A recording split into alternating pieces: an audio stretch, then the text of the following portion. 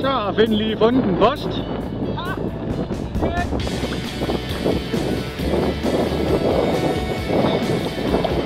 Er det kun dig?